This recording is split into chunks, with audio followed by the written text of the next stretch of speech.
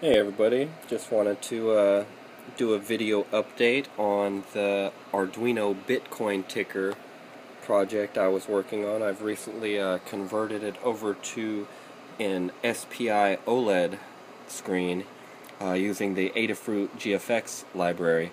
So um, pretty cool, it uh, miniaturized it, took it from the big LCD screen to the small little uh, OLED screen, 128 by uh, 64, so real small. It's actually using the Arduino Nano, so we shrunk that down as well.